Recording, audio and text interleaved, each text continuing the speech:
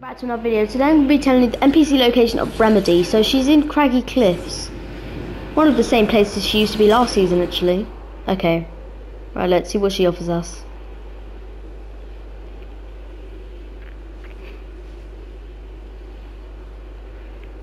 Okay, so she's over here.